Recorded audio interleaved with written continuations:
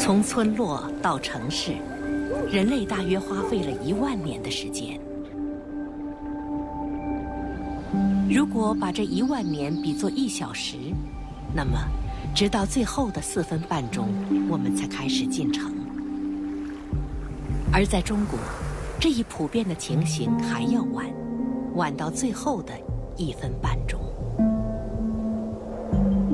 有趣的是，只在城市里待了一分半钟的我们，很快便开始怀旧，怀念起刚刚离去却又挥之不去的那如诗、如画、如意的中国村落。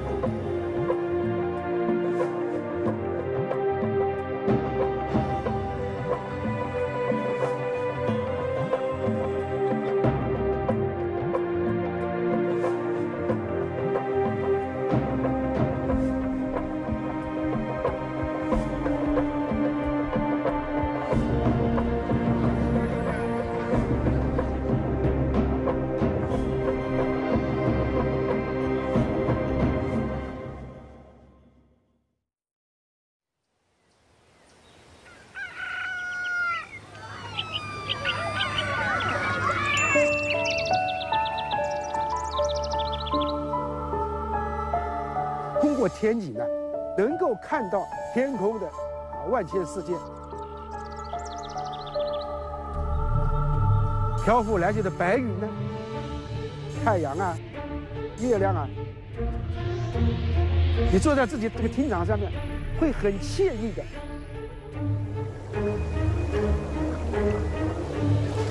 但是它为什么不叫天窗，叫天井呢？告诫住在这个房子里面的。绝对不能像井底之蛙那样，外面的世界大得很。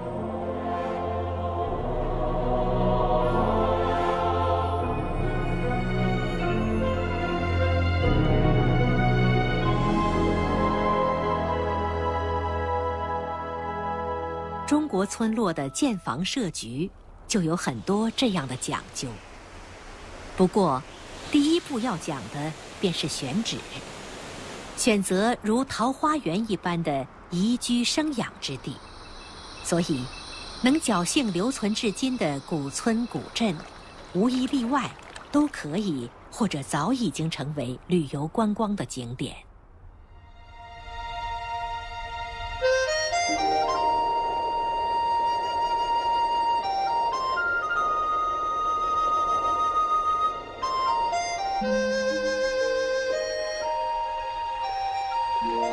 山傍水，错落有致。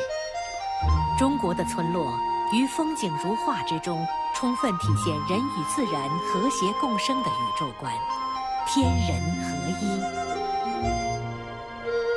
因势向形，不喧宾夺主；依势造景，不横行霸道。自然的材料，自然的开展，一个个村落。仿佛是从土地上自然的生长出来一样。不过，村落的最初建构，并不完全是自然而然，而是花了一番心思的。这番心思，古人称作风水。它在这个形成这个建筑之前，第一件事，就是要去看，我要建的这个建筑跟自然山水之间的关系，跟。我们当地劳作的这些赖以生存的土地之间是一种什么关系？它的一个最基本的通识理念是什么？那就是人、建筑和自然一定要协调。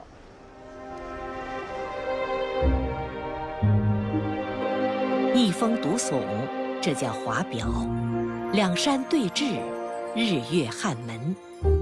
其实就是。背有大山，面朝沃野。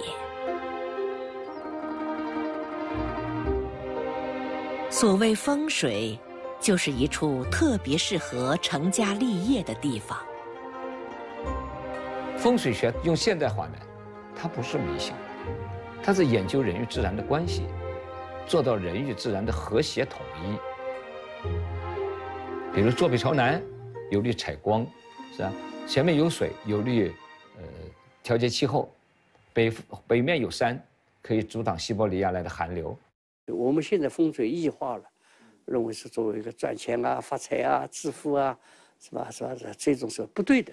它这是人和大自然的一种和谐相处的一种的默契，一种心灵的感受。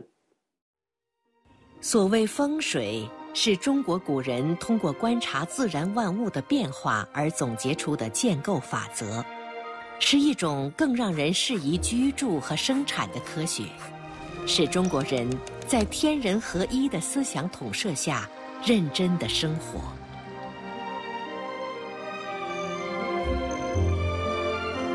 元朝至正九年，公元一三四九年。浙江武义县的余园村，刚刚成熟的庄稼又遭受了一场洪水的袭击。我们余园以前啊，老老发洪水，也有人发瘟病。村里人请来了一个叫刘基的风水师。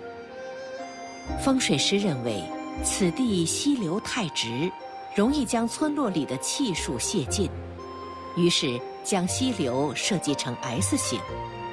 整个村的格局看起来像一幅太极图。我把你改个太极，你这条河流太直，住不起来。说来称奇，曾经饱受旱涝肆虐的村子，从此安然无恙，富甲一方。这个刘基，就是后来辅佐朱元璋的明朝国师刘伯温。后来瘟病也没有了，洪水也没有了，再后来呢，越来越发展，越来越发展，把我们约出了个百废，晋为公一相，权衡福寿昌，荣华秦烈义，富贵续年良，出了百分。我现在是二十四代。其实。这是建立在科学基础上的水利改造工程。S 型的溪流意在使河道变长，容积加大，减缓流水的速度。同时，刘伯温借黄道十二宫之说，把环绕余园的山岗变成了神山，禁绝砍伐山林，消除了山洪下泄、溪流泛滥的诱因。又在村里按北斗七星状。挖了七口池塘，作为蓄水、抗旱、救火之用。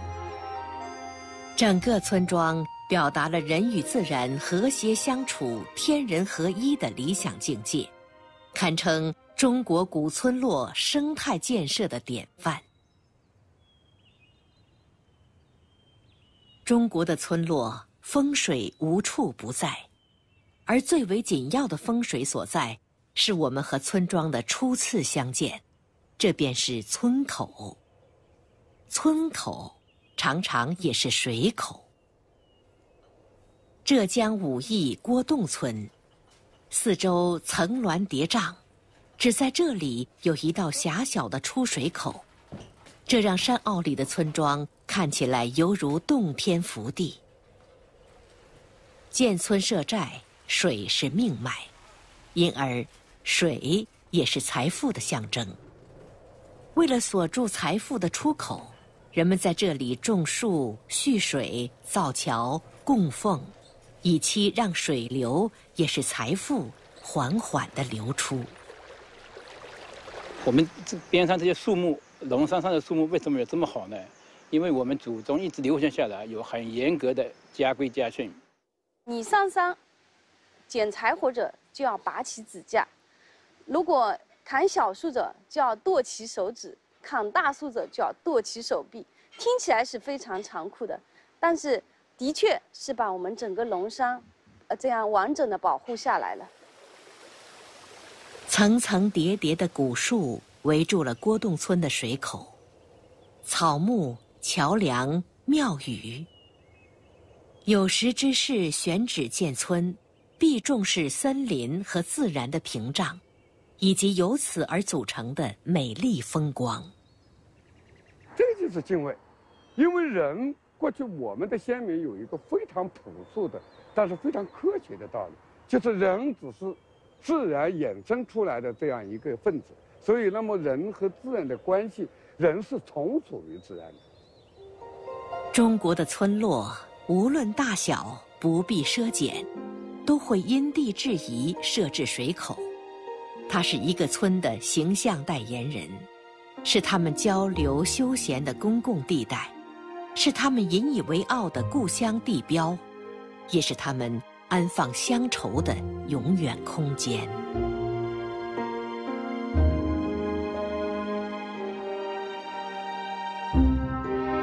许多有历史的大中小城市，他们的最初可能就是几户人家一个小村，小到一个家家的门口，大到一座城城的入门，都有它的水口所在。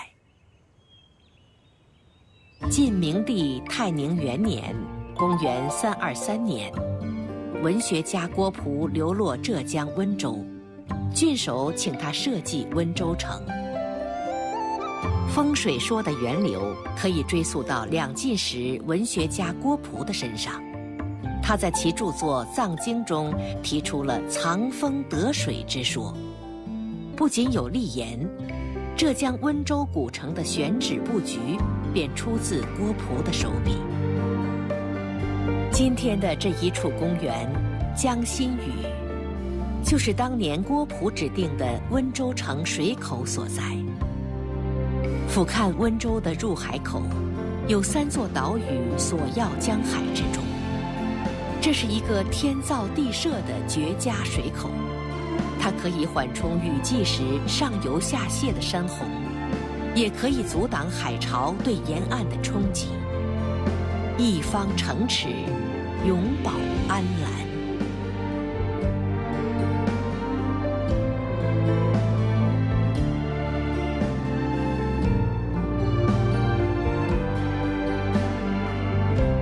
中国历史上数次由北而南的大迁徙，形成了汉族人民中一个特有的族群——客家人，也因此创造了一种世界建筑史上的奇观——客家民居。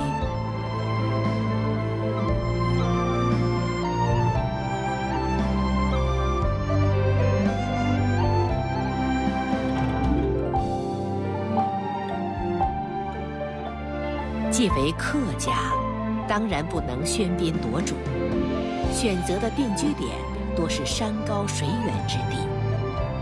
为了能够抵御野兽、盗贼的骚扰，为了能够完成聚族而居的需要，一种巨大的、可以容纳百人甚至千人居住的单体民居建筑，在中国东南沿海蔚为壮观。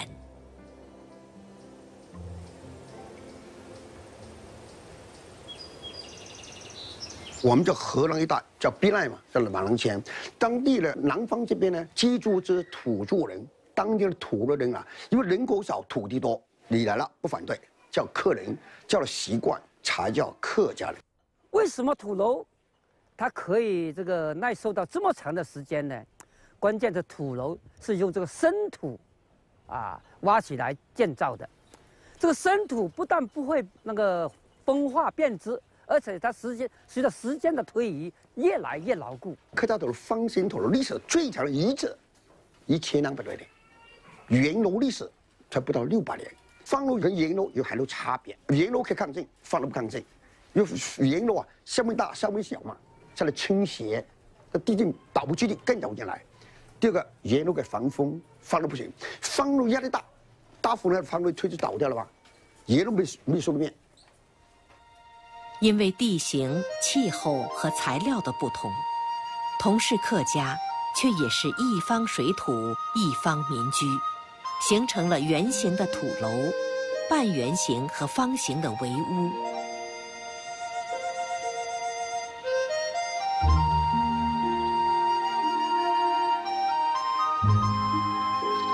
按照客家的建筑，啊，都是按照围屋啊，呃，全圆的土楼啊，只有我们和平才有那个四角楼。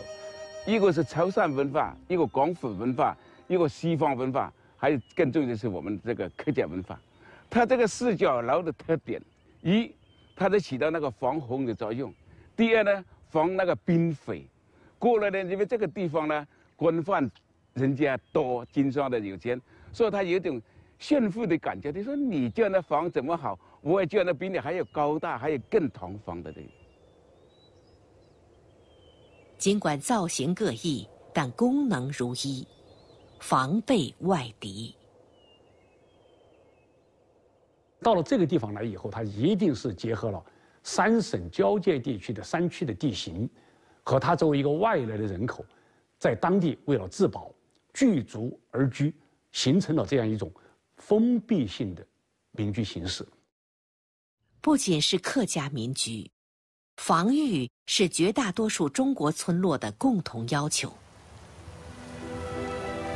长城不是村落，不过。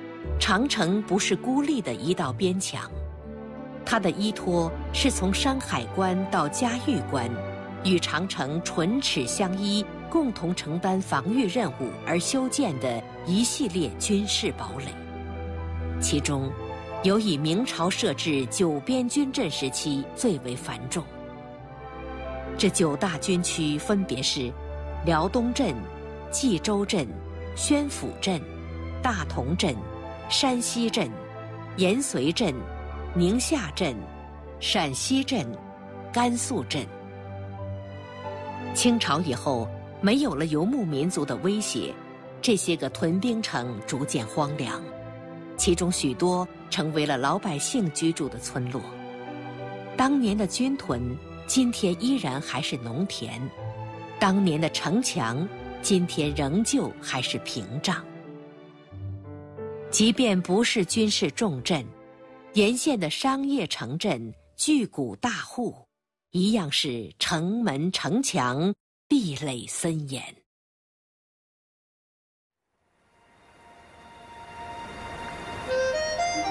当一个不需要设防的村庄，便会有更自由的想象和寄托。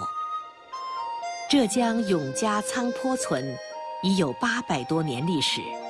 今天依然存留着宋代的寨墙、古道、老房。不过到此一游者，往往心不在焉，他们重点是奔着文房四宝而来的。不是说这个村里展示着古玩的笔墨纸砚，而是这个村的建构，是按照文房四宝的形制和布局设计的。这条笔直的石板街道纵贯全村，尽头指向笔架山，这是笔；街道两侧的池塘是围堰；池塘边的巨型石条，这是墨了；而整个呈正方形的村子，就是一张铺展开来的纸，以笔墨纸砚的形作为村落设计的魂。无疑是在表达苍坡人的理想追求：读书治世，心怀天下。他们的关键词是：一等人忠臣孝子，两件事读书耕田。巧合的是，在后来的八百年里，独而荣身，耕而致富者，苍坡村代有人出。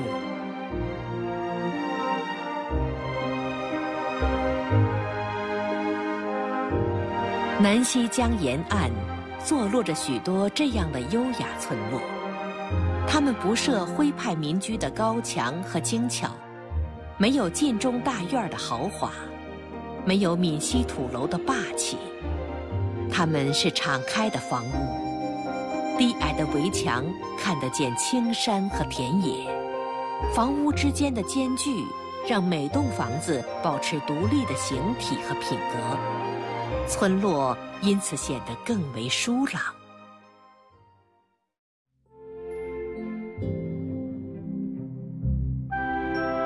对于不同凡响的人士，我们喜欢给他们编排一些个天生异象，村落也未能免俗。其实，许多村落在神奇的风水说和世代传说之下，就是一个个因地制宜、科学治理的生态典范。远方的雷岗山是牛头，村口的两棵大树是牛角，这半月池和南湖是牛的胃，穿梭在家家户户门口的水镇是牛的肠，这家家户户当然是牛的身体了。牛要站立奔走，依靠的是这四座桥，这是牛的脚。这是一种情感寄托，因为在古代农耕文化中，牛是家中的宝贝，是家当，就把它说成牛。我们宏村，它不是像我们现在有人讲什么，从开始到最后一个整体规划的，这不可能，因为古代的自然村呢，它是因形就势，随其自然发发展起来。说白了就是，任何一个地方啊，建筑啊，规划，它是环境决定格局。形式追随功能，金钱影响规模，文化提升品位。我们是一一三一年来的，住在村后的雷岗山那个台地。一二七五年，因为用火不慎，把雷岗山脚下叫十三楼烧了。一二七六年，就把东北一个大概三角地带就建了。一四零三到一四二六年，有一个短期规划，就是一个叫胡仲的女人。她丈夫出去当官了，宗族里因为她太有才华，就让他来行使丈夫权力，就带着全族人花二十三年，一个呢是做了个宗祠，第二呢在宗祠前面一个半圆形的河湾，因形就势随其自然挖这个半月塘，第三呢把村中的一条一千二百多米的多米的一条改道的老河，改成今天我们看到这个人工水系叫水镇。这种穿梭到家家户户的水镇，是一种古代的自来水供给系统。后人把它比作是宏村的牛肠。六百多年前，宏村人在村落上首拦河建坝，在原来的河滩上扩建村落，利用河道冲毁后变成的小溪，让它穿塘过屋，建立了我们今天看到的水镇。水镇沿途建有无数个小渠踏石，饮用换洗都在这牛场里。每天早上八点之前，牛场里的水为饮用之水；八点之后，村民才能在这里洗涤。水镇九曲十八弯，流过了家家户户的门口之后，经月沼入南湖，灌农田。浇果木，最后汇入绕村的河流。水渠修通之后啊，所以这个村子呢越来越大，人越来越多，啊，一直到万历年间，啊，这个当时姓汪的，呃，有一共有十七个头头面面的人物呢，大家一起联合倡议，就把村子原来南面的啊一些水槽啊。这个水塘啊、水渠啊，以及一些深角田呢，把它通过深挖连成一片，仿照这个西湖的平湖秋月，把它修成的南湖宏村水系呢，至此就基本成型了。功能、风水、景观，它为什么挖成个类半圆的？因为古代讲大自然只有规律，没有规矩。你太圆太方叫太过规矩。这个直线叫刚线，弧线叫柔线，叫刚柔并济，而且造型像砚台上装水那块叫砚池，表文运昌盛。前面有山，那边看过来也有山。苏州园林怕我们一览无余，要做个墙挡一下，叫障景，相当于文学的欲扬先抑。我们全是高墙，你看几米十几米高，它要是不留个口，你可以想象一下啊，没有远山，你这个湖再美，也是被房屋包围的水面，根本就没有情调。你看现在呢，它留了一个口，这要是不留口，风水上不允许的，叫窒息，就不通气。那现在留了个口，风水叫气口，环境叫对流，美学叫留白。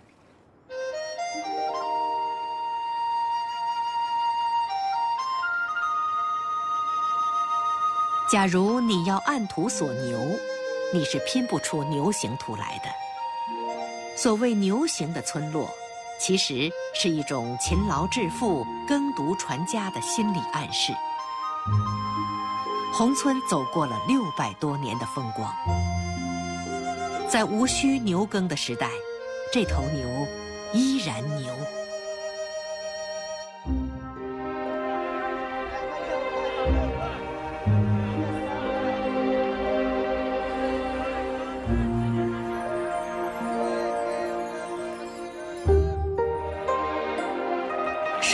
除了饮用、洗涤、灌溉，还可产生水力，用于防火、调节小气候、净化空气、美化环境。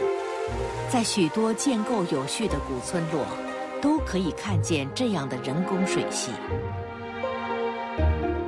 不过，有一种人工水系是个例外。浙江的开化县所处是钱塘江的源头。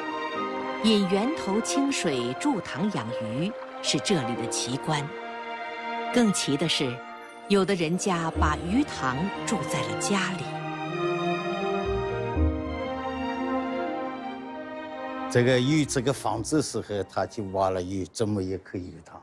当时造这个房子时候呢，他造地基呢，往里面挖了一股浅水，所以呢，在这开始呢，慢慢呢把它搞了一个塘。在养鱼，那么那个水呢还是不够，所以呢，咱要把河里的水呢引一部分进来，在这里缺缺这。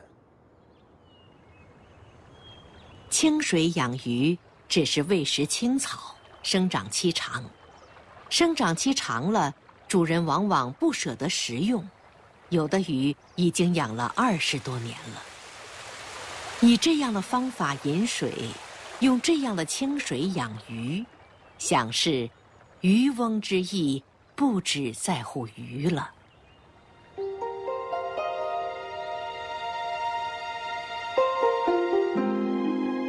炊烟会从田野上袅袅升起，而在人的视野里却见不到任何房子。这样的土地发挥着双重职能：地下住所。地上良田。上世纪三十年代，域外的地理学家这样描述他们在中国的惊人发现：其实，中国的窑洞建筑四千多年前就已经存在了。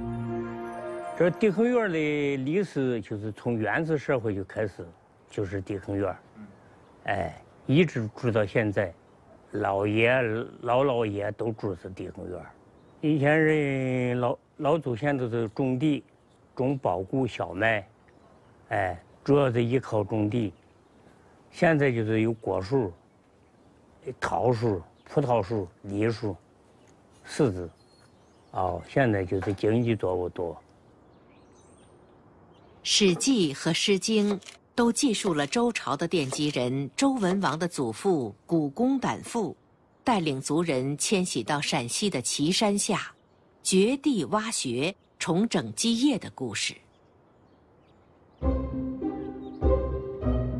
黄土高原冬季十分寒冷，植被稀疏，缺乏足够的建筑用材和取暖用材。但黄土的松软度和多孔性，使其容易开挖，并具有良好的保暖性能。先民们据此创制了这种冬暖夏凉的居住方式。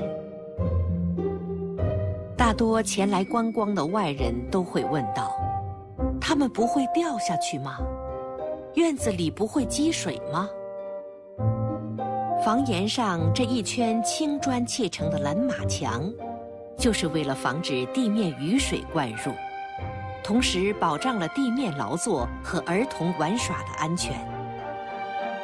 在地坑院中心，设计低于周边约三十公分，并在偏角一处挖掘四到六米深、直径一米左右的水坑，用来积蓄雨水和污水排渗。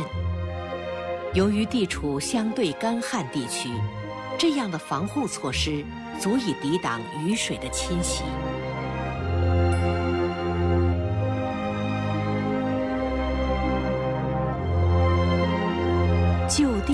材，以及环境、气候和技术的因素，是村落建筑形式的重要成因。但最终决定建筑形式非此不可的，则是社会文化的因素。这种社会文化的因素，便是先民们精神的追求和智慧的结晶。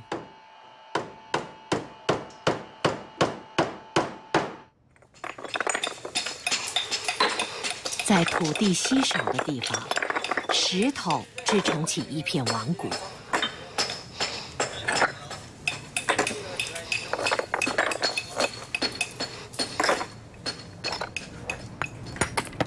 人家砖房啊，跟咱们这石头房不一样。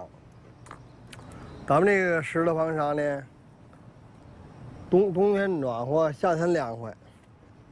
经过七六年唐山大地震似的，我们庄那个连房带墙都没有躺的，没有水泥这种石头啥呢？是那个垒的层次感。你要不说这个这这石头吧，它地震时候它是摇晃是吧？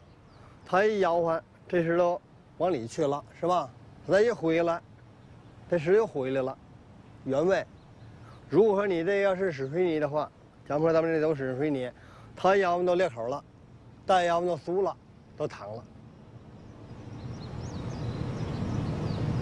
五百年前，民族英雄于谦以石自喻，托物言志，写下了广为流传的《石灰吟》：“千锤万凿出深山。”烈火焚烧若等闲，粉身碎骨浑不怕，要留清白在人间。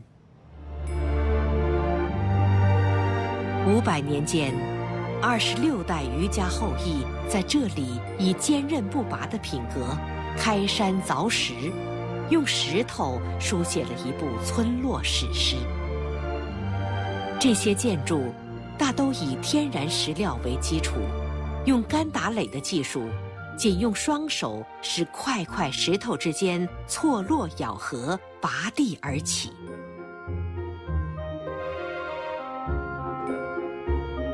始建于明万历九年的清凉阁，下两层为全石结构，不挖地基，由一块块巨石垒砌，有的巨石重达万斤。第一个特点，它没根基；第二个特点，没辅料；它的第三个特点呢，它的东南西北方位四正；第四个特点，石头你横看，它也并不成线儿；竖看也不压个缝。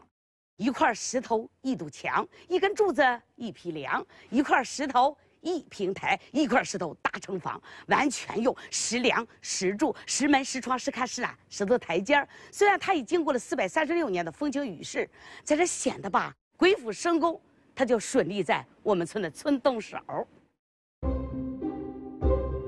石头街道、石头房墙、石头四合院儿、石头楼阁、石桌、石凳、石碾、石磨、石桥、石栏。余家村，实打实的石头村。咱们这个村子啊，就是于谦的长孙于有道逃难。来到这儿的，在成化年间，也就是五百三十年来年吧。那时候这是一片深山，他就一牧十居，一路石油，开荒种地。呃，在这生了五个儿子。我们现在全村啊就分五股，现在已经发展到了二十六代人，四百户。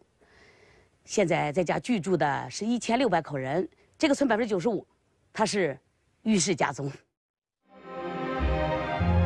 在现代建筑材料丰富的今天，余家村的人依然愿意使用石头叠砌自己的家园。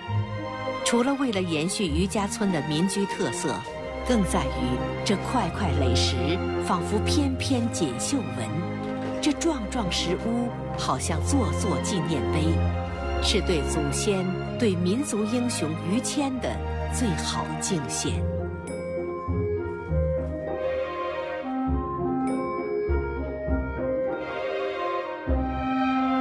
无论夯土围墙、石头垒砌，或者木头结构，中国的村落都可以找到它的传承。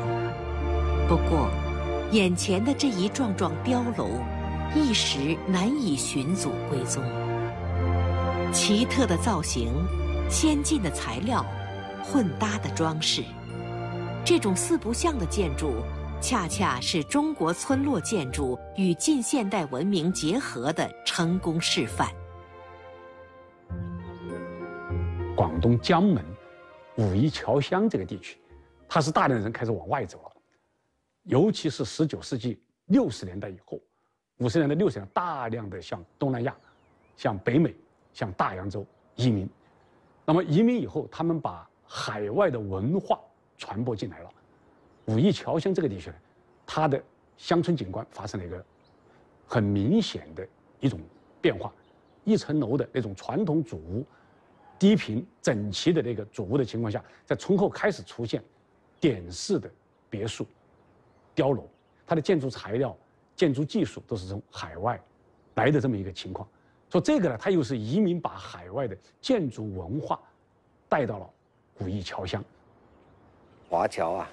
是很爱国爱乡的，他们好多华侨啊，都在外面赚了钱以后啊，就回来光宗耀祖，啊，又建设自己的家乡，啊，建这个碉楼，啊，来，他希望以后啊，年老的时候啊，就回到家乡来。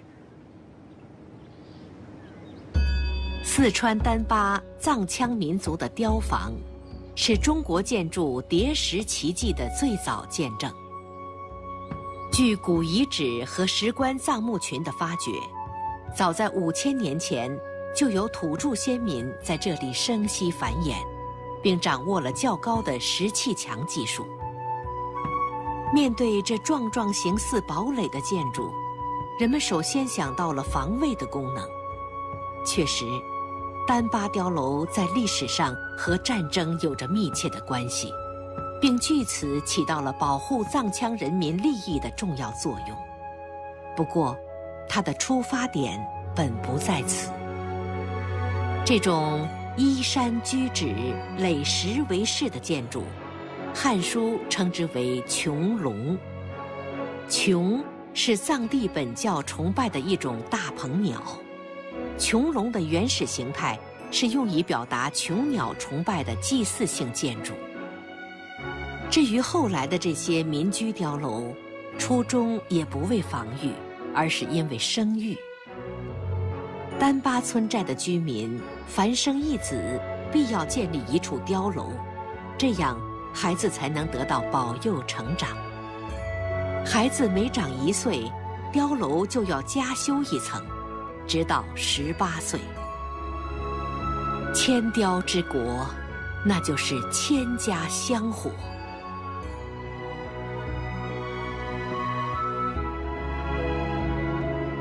今天，人们已不再建碉楼，但是在房屋的顶部，都有一个四方形的帽形顶层，代表着建造高雕的位置，四角呈月牙形。脚顶安放着白石，这是诸神的象征。中国村落的许多建构，在充分施展生活智慧和艺术审美的同时，或明或暗，或大或小，总要安放着他们敬畏天地、感恩自然的精神寄托。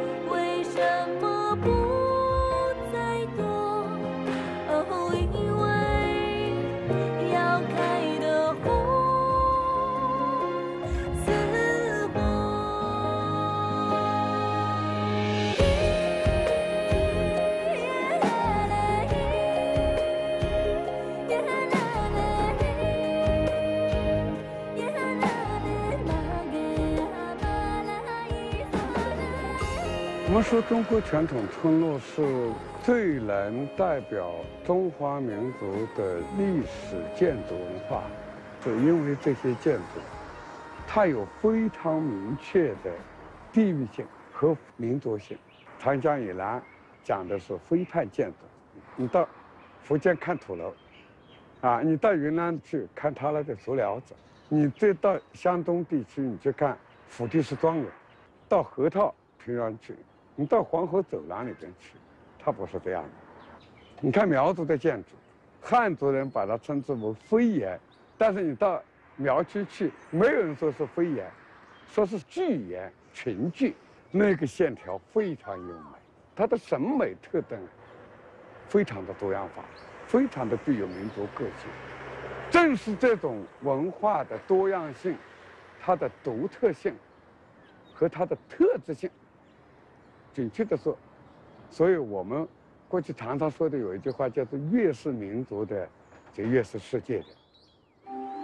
村落的建构受制于地理，但因为它是人类在生活中重要的角色，而使村落逐渐演变为联系历史与未来、原始与现代一个文明因子。